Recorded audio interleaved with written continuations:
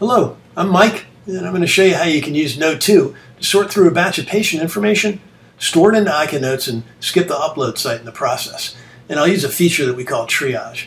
Uh, this is my intake portion of Kno2, which is a, kind of like an inbox, and it's a starting point for a lot of the things that you'll do with Kno2. In this case, I'm going to go to the plus sign up in the top right corner here, and I'm going to tell it that I want to upload a batch of new patient information. Happens to be information I scanned in from a fax machine. I'm going to tell it where I want it to go. So I can send it to Joy or Sandy. In this case, I want it to go to my intake because I'm going to work on it immediately. I give it a name, we'll call it a fax batch, and I could drag and drop files into here, or I could just click that. It brings me up a directory, and I select new faxes that were scanned for upload, and I tell it I want to upload and triage. So the, the PDF document that was scanned gets loaded into Kno2. And I can see by looking at the left-hand side that there was nine pages in that PDF. And I can look on the right-hand side and see what those pages consisted of and who they were associated with. So in this case, page one was associated with Janice Doe. All right, so now let me start to organize this. I'll create a new message, which is basically creating a place where I can put the documents for Janice. And I'm going to send it to my intake when it's done. And I'm going to give it a message subject, and we'll just call it fax records, since that's what they are. And we'll put Janice's name in here for easy reference later on, and we'll go ahead and create that. And then on the message, I create an attachment, which is where I'm going to put the documents. So the first one's for Janice, I know that, I'll mark it. Let me look at the second one, and that one's for Janice as well. uh, another one for Janice, we got three for Janice so far. Next one is for Michael Patient, so we got a new one. So the first three were for Janice, and Kno2 was keeping track of how many I was checking. So it's saying up here, you've got three. We're going to move those three where to? Well, we'll move them to Janice Doe and stick them in the attachment. All right, and that shows up here. So three and nine work through. Let's go with four. Now the next one's for Michael Patient. So we're going to go ahead and create a new message for Michael because we've got a different patient and we're going to call this one fax records again. And then we're going to,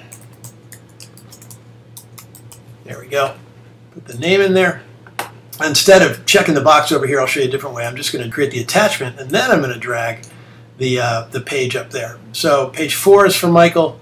Page 5 is for Michael. Drag that up there. Page 6 is also for Michael. And page 7, ah, it's a good example. Page 7 is actually a blank sheet of paper that went through the scanner, came out of the fax machine. Uh, we don't need that. Don't need to store that. So we'll just check the box and tell Kno2 to delete it. We've got two left. Let's see who these last two are for. Uh, Janice Doe. We're back to Janice again. And uh, the last page, and I think is going to be for Janice as well, if I remember. Yep. So we got the last two for Janice. I can just go right into this menu and say, move all those pages to Janice Doe. So now I've got Janice with two attachments, three pages and two pages, and then Michael with one attachment of three pages. So I'm all set. I've triaged myself through that document. Now I'm going to say, go ahead and submit.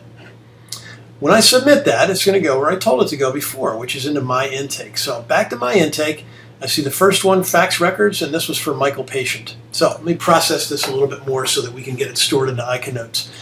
Michael's name's already there. Now I know Michael's birthday is October 24th of 1968. And I know Michael's a male, and I know that this document type is a patient record, so I'll select from my menu here and we're all set. So I'll go up here, I'll say save that information, it's everything I need to have it stored automatically into ICANotes, and then I'll click this little cloud here, which is basically saying that I've marked it and I want it to be uploaded to ICANotes automatically. And you can see the little message awaiting download. So it's, uh, it's, it's all ready to go. I'll go back to my intake and I'll work through the, uh, the package for Janice here. So Janice uh, has a different birthday. Her birthday is June the 12th of 1980, and she's a female.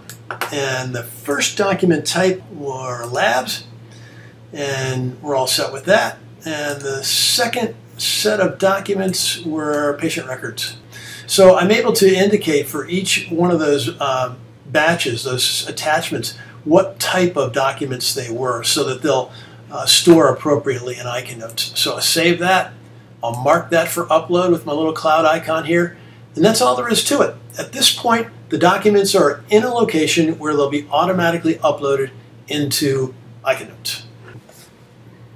Okay, obviously you recognize this. It's the ICANotes system, and the great thing about the integration between ICANotes and Kno2 is that every time you open up the chart room, the two systems automatically synchronize, and any information that was designated for upload uh, from Kno2 will automatically be retrieved by ICANotes and pushed into the patient record. So you can upload without having to go through the upload site. No manual work, it's all automated, and it's all based upon the integration between the two systems. Uh, just to wrap it up with Kno2, I want to show you the, uh, uh, the indication that everything's happened um, the way that it should have. So if I go back to my intake, I can come over to the filters area here and I can say, just show me all the stuff that's been processed. And so all the messages in into my intake are the ones who have been processed. And let's just look at this one for Janice Doe. I've got a green indication that says it's been processed, so green is good in this case. And if I open up that message, the cloud that was yellow when I marked it for download uh, is now green. And that's, uh, again, green is good. And it says the message has been downloaded. So it's up in the ICANote system. It's there automatically. And everything is good on the Kno2 side.